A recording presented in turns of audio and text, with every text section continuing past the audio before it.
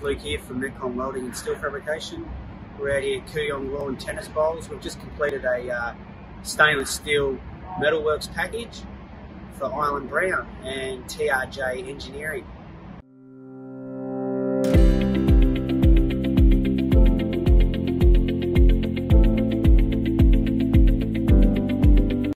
Okay, so we're inside now at Kooyong Lawn Tennis. We've got a stairwell or a staircase here running five levels. Uh, got a balustrade system on the inside and wall rails on the outside throughout. I'll give you a bit of a brief. So, obviously, the finish on this, as you'll see in the video, it's high end, it's unique, and um, it's definitely not for first timers. That's fairly evident in the video.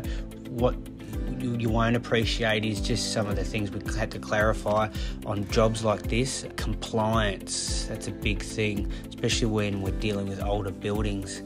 It does become a bit tricky, so we, we have to stick within the guidelines of the architectural design and and somehow keep it compliant. So this time round we had to through our shop drawings, we had to back and forth details of, of how we needed to change the design to get it compliant. We had base plates here, as you can see in the video. We had to offset uh, the balustrade off the off the base plate just to open up that one metre area. We had to nominate a specific uh, hold down bolt. It's, it's like a countersunk system, which you'll see as well on the base plate. So that was a bit of a unique design on the fly just to keep it compliant. Can't have any tripping hazards off those base plates.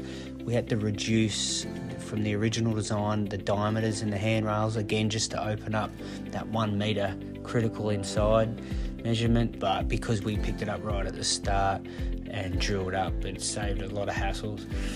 We've got also a balustrade handrail system in one what that means is the balustrade under the code, it needs to be at least a metre, but then the handrail height uh, has to be a metre maximum. So in turn, we've got a system here that it has to be exactly one metre off the toe of the stair. And when you've got, you know, uh, I think we had nearly 200 steps here, uh, we needed to, carry out that one metre throughout throughout every toe on every step. So that was fairly tricky as well.